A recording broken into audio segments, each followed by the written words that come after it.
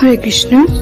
ISKCON ভক্তি Vedanta Gita academy দ্বারা পরিচালিত আমতা গীতা পাঠচক্রের পক্ষ থেকে সমস্ত ভক্তবৃন্দদের জানাই আন্তরিক প্রীতি, শুভেচ্ছা ও অভিনন্দন। বৈদিক শাস্ত্রের তিনটি মাসকে অধিক গুরুত্ব প্রদান করা হয়েছে। এই তিনটি মাস ভগবানের অত্যন্ত প্রিয়।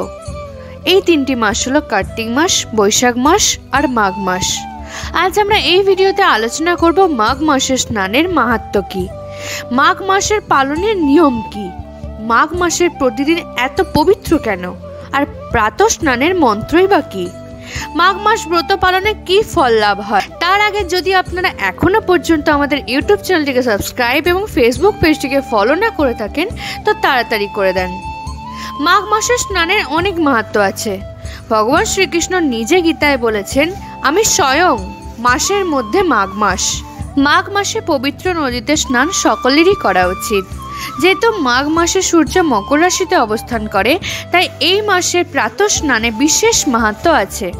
ভবিষ্যত্তর পুরাণে বলা হয়েছে অমাঘ স্নাই নাং রে নাং, নিষ্ফলং জন্ম কীর্তনাম, অসূর্য গগনম, যদ চন্দ্রমূর মণ্ডলাম তদন্ন ভাতি সৎকর্ম মাঘ স্নানম বৃণানিপ অর্থাৎ মনুষ্যগণ যদি মাঘ মাসে প্রাতস্নান না করে, তাহা হইলে তাহাদের জন্ম বৃথা বলিয়া জানিবে।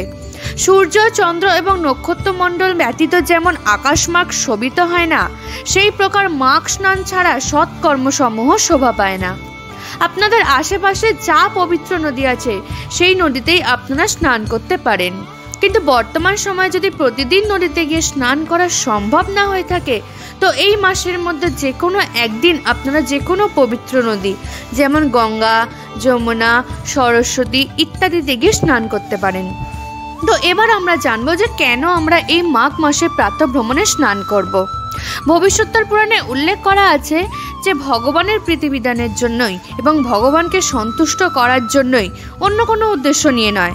আমরা অসমের যজ্ঞের ফল পাবো, এই ফল পাবো, ওই ফল পাবো, না।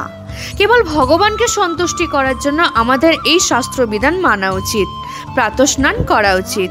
কাত্তায়ন স্মৃতিতে উল্লেখ করা হয়েছে, মা ঘোষণাই নরজয় সদুদ্গতি নৈব পশ্যতি তন্নাস্তি মানুষে লোকে কিলবি সজ্জন সধায়াতে। অর্থাৎ মাস্ক নাই ব্যক্তিকে দুর্গতি পাইতে হয় না। মাঘ স্নানে মর্তলোকের যাবতীয় পাপ ধ্বংস হয়ে যায়। স্কন্দপুরাণে উল্লেখ করা হয়েছে, মাঘ স্নানং নরকৃতা সদা দন্তমনা ব্রতি প্রপন্নতি চ পদং বিষ্ণু স্নানং ত্রিলক্ষ বন্দিতম। অর্থাৎ সংযত চিত্রে ব্রতরত থেকে মাঘ স্নান করলে ব্যক্তি ত্রিলক বন্দিত বিষ্ণুধাম লাভ করতে পারেন। এবার আমরা জানব যে মাঘ মাসের প্রাতঃস্নানের মন্ত্র কি। সেটা হলো মকরস্থ রব মাগে গোবিন্দচ্যুত মাধব। স্নানে নানেন দেব, যতক্ত ফলদ ভব অর্থাৎ হে অচ্যুত, হে গোবিন্দ, হে মাধব, আমি মাঘ মাসে মকর রাশিস্থ দিবা করে স্নান করেছি। হে প্রভু, আপনি যথারীতি এই স্নানের ফল প্রদান করুন। তো এই মন্ত্র উচ্চারণ করে মৌনব্রত পালন করে আপনারা স্নান করবেন।